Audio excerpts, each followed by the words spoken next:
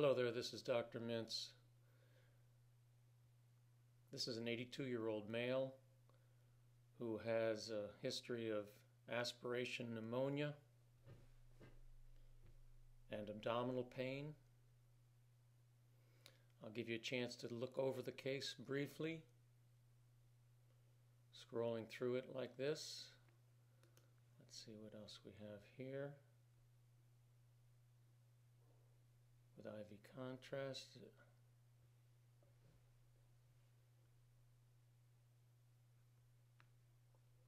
This is a CT abdomen only.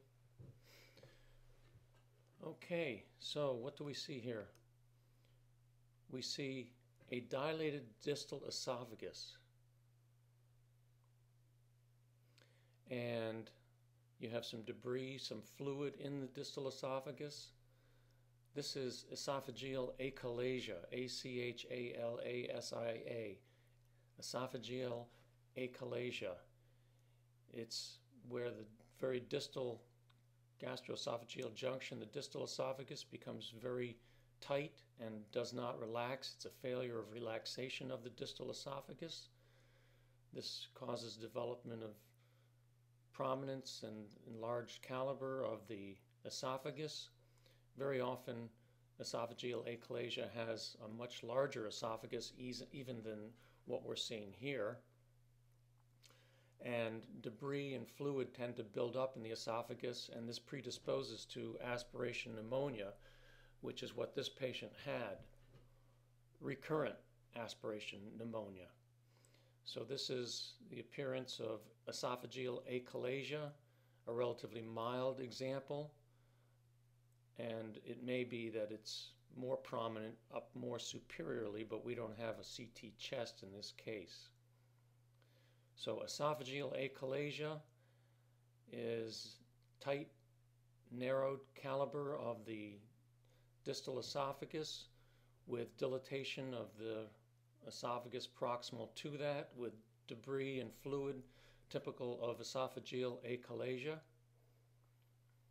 This is also a nice depiction of the hepatic veins. Now, as I course inferiorly, you see them diverge. One, two, three, right, middle, and left hepatic veins. And then as we go upward, you see them converge into the inferior vena cava. A portion of the inferior vena cava courses through the substance of the liver and you can see that here. Here we see the inferior vena cava below the level of the liver. And as we come into this area, we see it become part of the liver or be embedded within the liver. And here again, we have the right, middle, and left hepatic veins.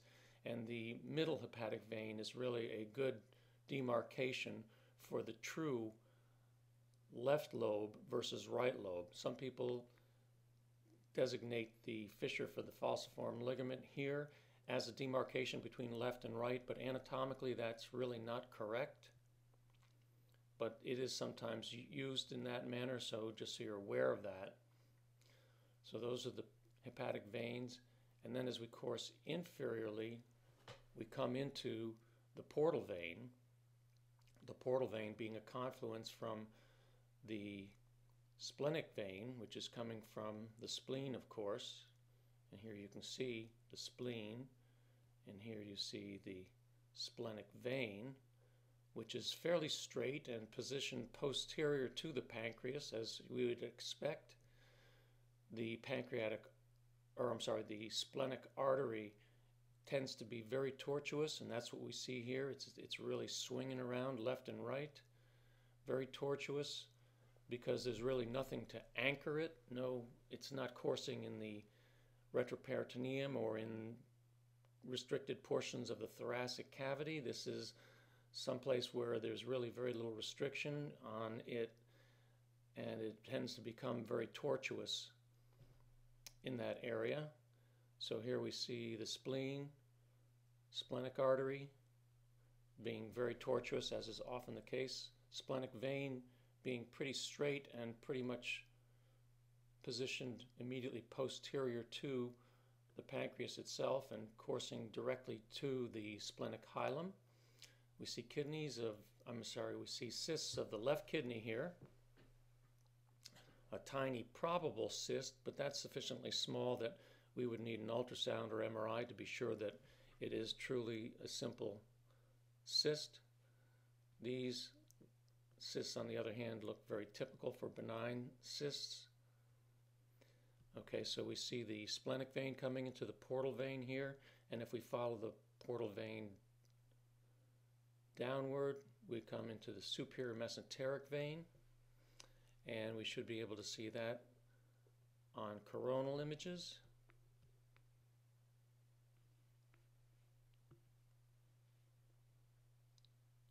And here is the portal vein unenhanced but we can see the superior mesenteric vein diving down inferiorly there.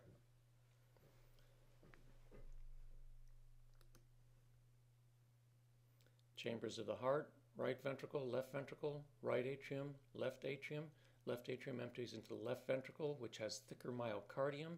We have papillary muscles with chordae tendineae connecting to the mitral valve leaflets. Tricuspid valve is over here. Adrenal glands, always check those little adrenal glands. That should be part of your litany that you go through whenever you review a case, just to make sure you have a mental note in mind to check the adrenal glands and make sure there's not a little nodule or a small mass. The adrenal glands are common sites of metastatic disease, particularly from lung cancer. Okay, so the esophagus comes down here through the esophageal hiatus into the stomach, and that becomes the stomach, and you can see the stomach come over here, and the stomach continues to the first portion of the duodenum or the duodenal bulb, which would be about here, and then it courses inferiorly as the second portion of the duodenum. It crosses slightly to the left as the third portion of the duodenum, and then it courses superiorly as the fourth portion of the duodenum. And distal to the fourth portion of the duodenum is the, well, that's where the ligament of Treitz is, and that transition point is where it becomes jejunum, and jejunum wiggles around the abdomen squirms and courses through various loops toward the right lower quadrant. At some point, it transitions from the jejunum to the ileum, and uh, we can usually see it entering the right colon near the cecum at the ileocecal valve but we're just a little bit too high here and we don't really have images below that level. But that's where it comes in.